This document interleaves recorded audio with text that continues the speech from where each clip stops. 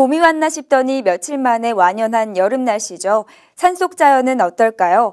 지금 서리산에는 자연의 섭리대로 피어오른 철쭉이 등산객들을 유혹하고 있습니다. 최지연 기자가 다녀왔습니다. 해발 832m의 서리산. 울긋불긋 2.5헥타르에 이르는 철쭉 군락지가 등산객을 맞이합니다.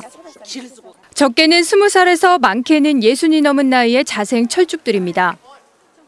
인공적인 힘없이 스스로 군락지를 이뤘는데도 신기하게 한반도 모양으로 피어올라 장관을 이룹니다. 구름 위에 떠 있는 것처럼 꽃이 환상적으로 아름답게 내 머리를 날아다니는 것 같고요. 수도권에 정말 이렇게 아름다운 곳이 있다는 게 정말 우리에게는 큰그 기쁨이고 행복인 것 같아요. 수도권 최대 자생철쭉 군락지로 꼽히는 서리산.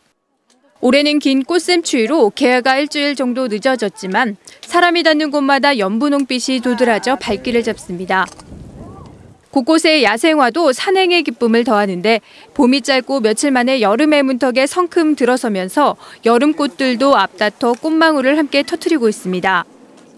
특히 이 서리산 쪽에 오면은 철쭉 동산이 자생지로 해서 이 능선 전체가 이 철쭉으로 이렇게 쭉 펴 있는 모습을 우리가 볼 수가 있고 또 특히 철쭉 터널을 빠져나올 때 거기에 묘미가 대단합니다.